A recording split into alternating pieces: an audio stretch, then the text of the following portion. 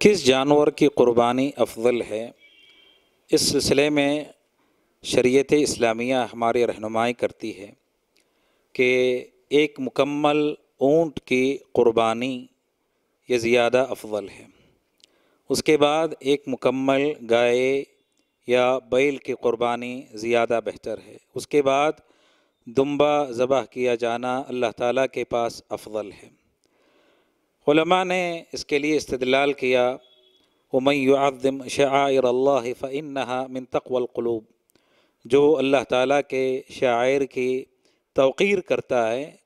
तो गोया तोक़ीर करना, इज़्ज़त करना, ये तकवे की निशानी है, तकवे की अलामत है।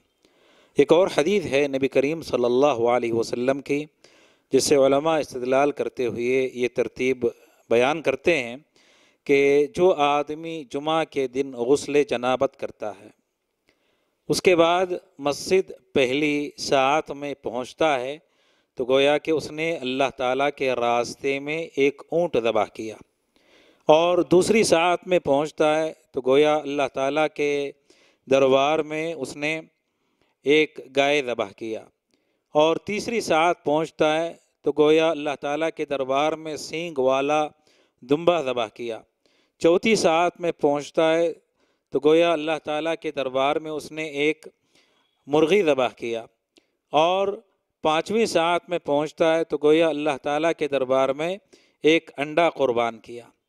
तो इस हदीस से इस्तदलाल करते हुए ने ये तरतीब मलहूद ख़ातिर रखी और कहा कि सबसे अफजल एक मुकम्मल ऊँट ज़बा करना, उसके बाद एक मुकम्मल बैल या गाय, उसके बाद दुम्बा और उसके बाद जो हदीस में मजकूर है, वो ज़्यादा अफजल और ज़्यादा बेहतर है।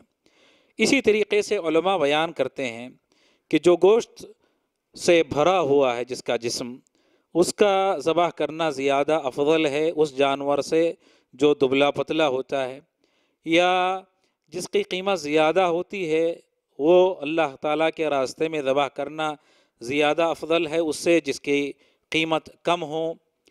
तो ये सारे जो फ़दाइल ने बयान किए हैं, मुकम्मल गाय, मुकम्मल बैल और मुकम्मल दुम्बे के लिए। और अगर कोई ऊँट का एक हिस्सा कुर्बान करता है या गाय का एक हिस्सा कुर्बानी करता है तो ऐसी सूरत में मुकम्मल एक दुम्बा ज़बह करना, एक भेड़ ज़बह करना ज़्यादा अफजल है। ऊँट या गाय के एक हिस्से ज़बह करने से या एक हिस्से की कुर्बानी पेश करने से। तो ये तरतीब ने बयान की कि कौन सा जानवर ज़बह करना अल्लाह ताला के नज़दीक ज़्यादा बेहतर है, ज़्यादा अफजल है, मुसलमान को चाहिए कि अगर अल्लाह ताला ने ताकत दी हो तो ताकत के हिसाब से, ज़्यादा से ज़्यादा जो बेहतर हो, वो अल्लाह ताला के रास्ते में क़ुरबानी देने की कोशिश करें।